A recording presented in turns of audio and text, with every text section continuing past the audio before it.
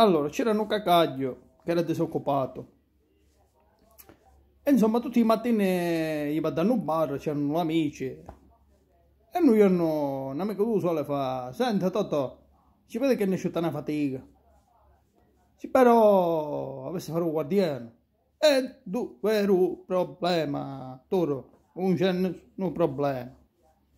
E va bene, allora dice, se non c'è nessun problema, dice, domani mattina, dice, ti faccio conoscere il principale di ditta, dice, eh, e tu così cominci a faticare. Il giorno dopo, niente, si incontrano al solito barro e, e poi niente, le presenta sul principale di ditta. E dice, piacere, sono dottore Tizio Caio. E lui come fa, piacere mio, sogno Totò.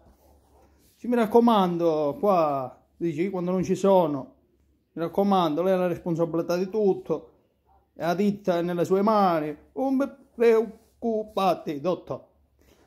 E niente, la prima sera, io fa servizio là e scoppia un incendio. E si brucia tutta la ditta, si brucia tutto. Un giorno dopo arriva il principale, e la ditta non la trova, trova tutto bruciato.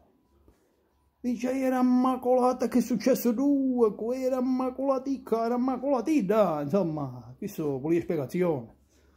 E io dopo l'operato dice, guarda ma che è successo che la fabbrica mi è sparita, era tutto disparato, questo qua era disparato che porca miseria, dice, ne sacrifici una vita, insomma. E io dove è un guardiano. E ci ha detto, guardia, ma che ha detto tutta la ditta, dove era la ditta? Cioè? Eh, oh, buongiorno, dottore o Saccio, hai visto? Ha detto, ma che è successo? C'è stato un cortocircuito, dottore. Eh, ma l'ha chiamato il pompiere? Eh, sì che le chiamate, dottore. E che ti hanno detto? Hai chiamato e detto la caserma dei pompieri? E che ti hanno risposto?